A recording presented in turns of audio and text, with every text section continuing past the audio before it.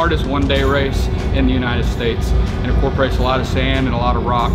Um, so to me, King of the Hammers was always just about uh, uh, challenging myself and um, uh, my partner Kyle and our team uh, and seeing what we could really do.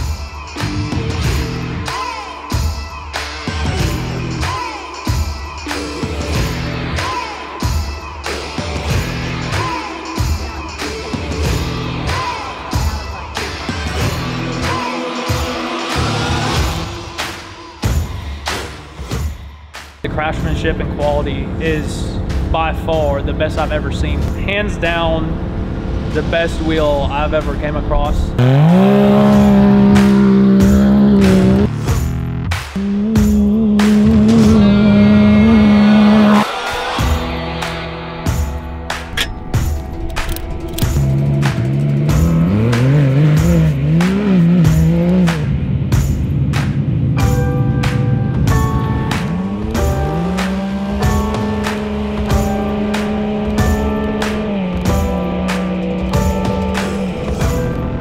I am Robert Lunsford. I am the owner and creator of X3 Nation.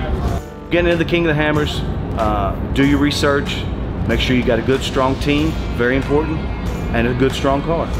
Because you're against the best drivers, not only in the, in the country, you're against the best drivers in the world.